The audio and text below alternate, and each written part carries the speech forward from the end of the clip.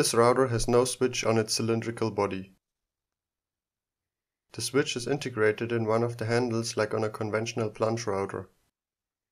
However, this makes it a bit awkward to use this router motor in other fixtures than its own plunge base.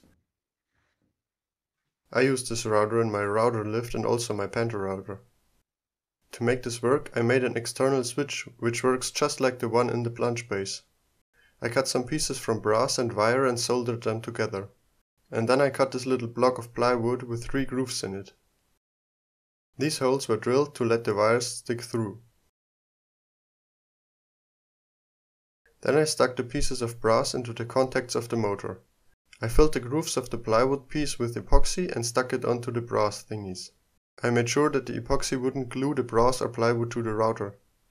Whilst the epoxy was hardening, I soldered three wires to the contacts of the circuit of the router base. I bought this as a spare part from Bosch. Someone with electronic skills could probably easily rebuild the circuit, but I didn't want to get into this because it's just too cheap to go through all that hassle. Now the contact was painted and the circuit was soldered in place. I found the right orientation of the wires by trial and error. Now a quick test and it works.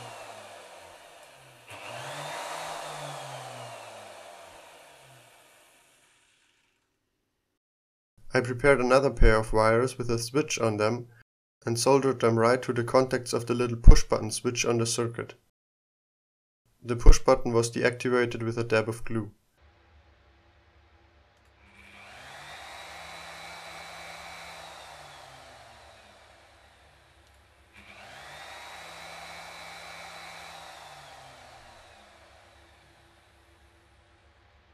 And I made this little box to cover the circuit and epoxied it in place.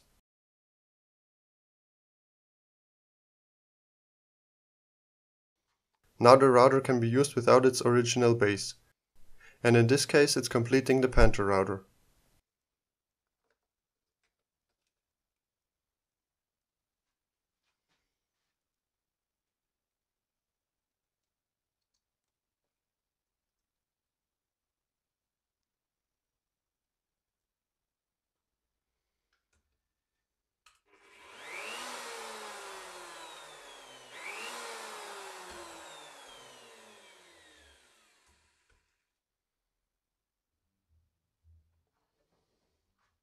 This is a fairly powerful motor that can cut a 6cm long tenon all in one go, at least in softwood.